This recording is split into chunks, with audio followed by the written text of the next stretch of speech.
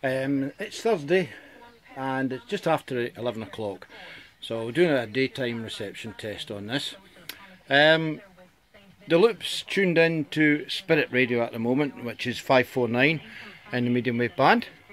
Um, the bit of buzzing's coming off the phone, funnily enough. Um, only during the time that I'm uh, recording, unfortunately. So, as I say, that's Spirit Radio. And what we'll do is we'll move the tuning up the band and see what we get.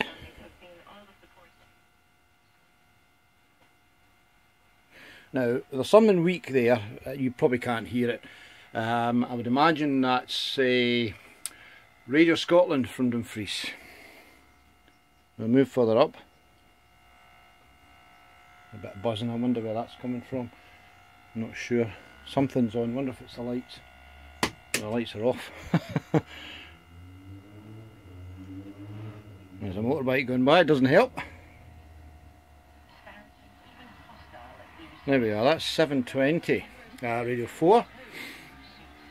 And carry further up, we'll get Radio Scotland next, I would imagine. Lots more sport for you in the John Beattie programme from midday. Look at your latest travel now with Zoe Diamond. Thank you very much. Will, Stevens has been dropped by Manor for the 2016 season and Well, we replaced by the talk sport. Indonesian Rio Haryanto. West Sound, which is our local. Look at the uh, pink ones, please.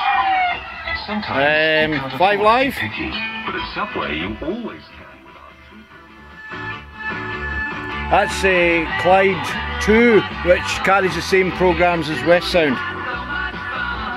Um, that's a weak transmitter and it's a fair distance from here. Absolute.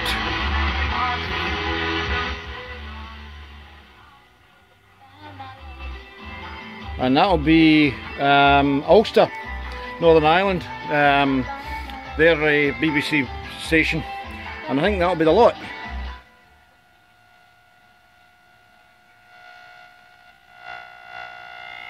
I'd like to know what that noise is. It's certainly not coming from here anyway.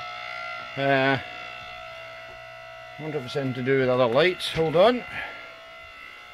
Nope. No, I don't know what that is. That's something new. Nothing else is on. Nope. Okay, there you go. So that's that's the daytime reception report and a quick sneak round my shed as well. Okay, cheers.